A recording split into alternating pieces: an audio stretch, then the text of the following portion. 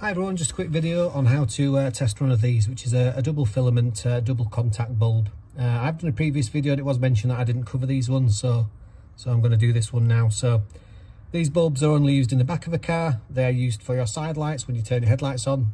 The smaller one of these two filaments, which will be 5 watts, will uh, illuminate a red light to the back. And then when you brake, there's a, a switch on your brake pedal. And when you press the brake pedal, you complete the circuit and then it will illuminate this 21 watt filament here as well. Both are on 12 volts and both share the same common earth. So the common earth is here. This will be earth to the body locally and then it will go back up to the battery. The two contacts on the back here, they're the two lives. So these are the two ways that the circuit becomes energized, but they share a common earth. So first thing you're going to need is your multimeter. Um, you're going to need to set it to the ohm scale down here and I'm going to put it on the lowest setting because I'm not expecting more than sort of two or three ohms resistance and a little bulb. There is no hard and fast rule, but you're not looking to get any more resistance than one ohm per meter of wire. Obviously, that's going to depend on the thickness of the wire. The thicker the wire it is, the easier it is for the current to flow through it. And obviously, with this particular multimeter, there's only a COM for common earth, and there's this one here, which is volts, ohms, and milliamps. So we're going to go for ohms for continuity. So, as I say, there's a common earth on these bulbs. So the common earth goes onto the body because it goes into this casing and then down the chassis, as I say.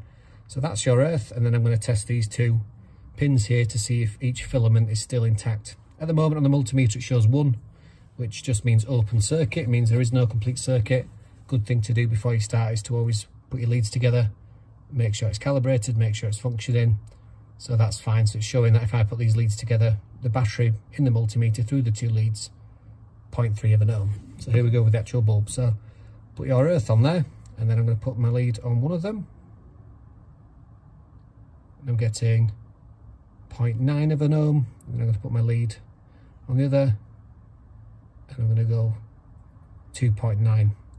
So again, the thicker the wire, the easier it is. So the 0.9 one's going to be my 21 watt uh, circuit for my brake light and the 2.9 has higher resistance so that's going to be my 5 watt circuits. that's going to be my side light so that's a quick easy way to uh, check that your bulbs uh, working on both circuits. Do check your uh, contacts here as well because sometimes they do bend and they lose connection or there's a bit of rust or corrosion in some cars because of where they live.